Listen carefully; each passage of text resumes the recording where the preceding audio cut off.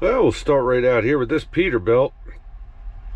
Beautiful green. I believe this is a 389, made it look like a 379. Apparently that's a new thing. I was a little bit late on that one, but that's what guys are doing now. I do believe that's a 389.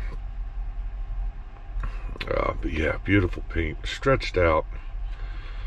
Yeah, MAC dump trailer, it's pulling. All lit up. Gives you a good view of that Massey truck beside it.